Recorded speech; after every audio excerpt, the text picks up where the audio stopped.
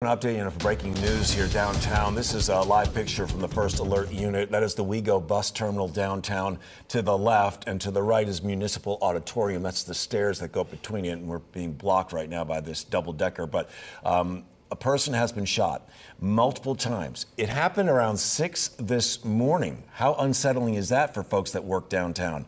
Uh, we can confirm that the shooting uh, suspect has been taken into custody.